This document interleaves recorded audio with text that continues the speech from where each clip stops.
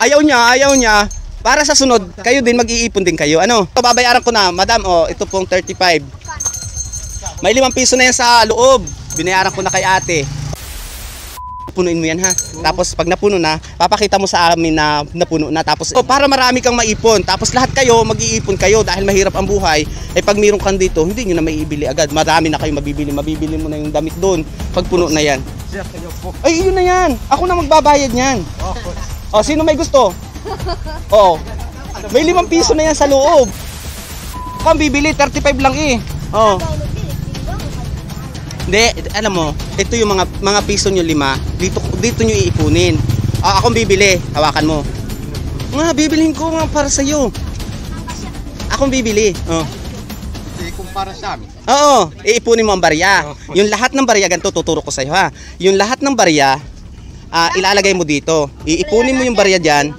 Ito. Yan. Tapos yan, sa'yo na. Ng paninda. Nabili kayo? Nabili kayo? Bili kayo, anong nga bilhin nyo? Ayan. Ayan o, binili niya o. Yan, anong binili mo? Supply?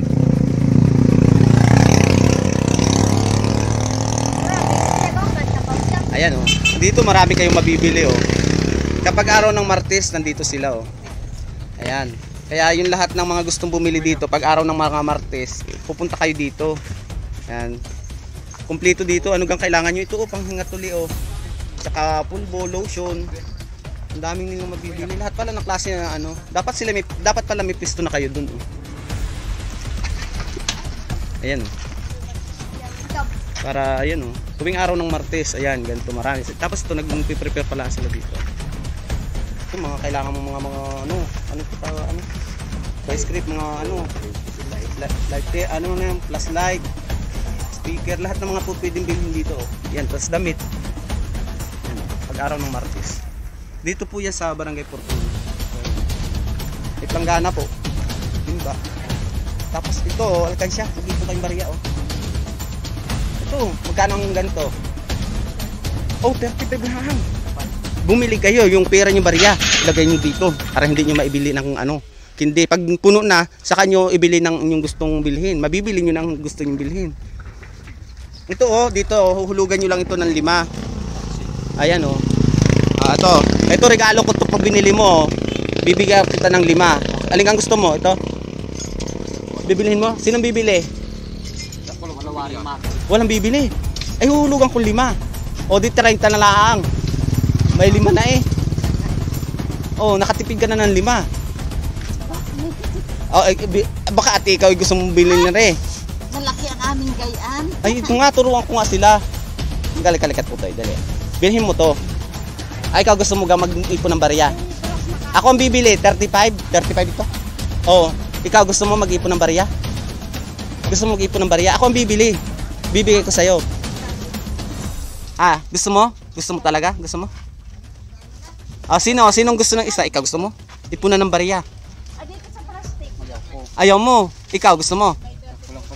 Ako ang bibili, basta mag-iipon ka lang ng barya. Tapos pag napuno mo, sabihin mo sa akin pag puno na. Para ibibili mo nung mga gusto mong bilhin dito. Okay lang. Ha? Ako ang bibili, 35 lang eh. Oh. Hindi, alam mo, ito yung mga mga piso nyo lima, dito dito nyo iipunin. Ah, ako ang bibili, hawakan mo. Nga, bibilhin ko nga para sa'yo. Ako ang bibili. Oh. Hindi kumpara sa amin. Oo, iipunin mo ang barya. Yung lahat ng barya, ganito tuturo ko sa'yo ha. Yung lahat ng barya, ah, ilalagay mo dito. Iipunin mo yung barya dyan. Ito. Yan. Tapos yan, sa'yo na. Babayaran ko na yan, tapos pupunuin mo yung lahat ng iyong pera, dito mo ilalagay. Tapos pag puno na, saka mo babasagin, pira mo na yun. Yan, hindi na kaya ah, punuin baka. Po, kaya mo. Yan ang titistingin mo ha. Kahit doon tagahulog ka, ay pupunuin mo yan. Ayan yun, nakita mo, nihulugan ko ng lima. Yun ay lima, pwedeng piso, pwedeng sampung piso. Pag maraming marami na at puno na, tuturo mo sa kanila, nabibili na lang din sila ng ganyan para ah Oo, para marami kang maipon. Tapos lahat kayo, mag-iipon kayo dahil mahirap ang buhay.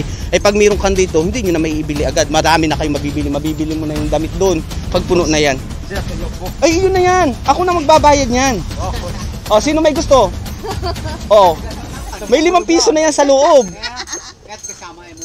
Marunong baka kayong maghulog dyan. Oo, oo, oo. Oh, ito babayaran ko na. Madam, oh, ito pong 35. May limang piso na yan sa loob. Binayaran ko na kay ate. O kung kanino man yan ha. Sa'yo yan. Pupunuin mo yan ha. Tapos pag napuno na, papakita mo sa amin na napuno na. Tapos ikaw, iyon yung laman yan. Bibili mo ng gusto mong bilhin. Ayaw niya, ayaw niya. Para sa sunod, kayo din mag-iipon din kayo. Ano? Ipunuin mo ha. Tapos malay mo makabili ka ng pambili ng bubong mo diyan. Kung gaano kadami ang laman yan, malay mo makabili ka ng pambiling pako para makapagpagawa ka ng magandang bahay doon. Kaya yung mga barya mo diyan, silid mo lang ng silid. Ano? Oh, yes, sa'yo na yan. Bayad ko na yan doon kay ate. Ayan, andito sila, natuwa ho ako dahil sila namimili.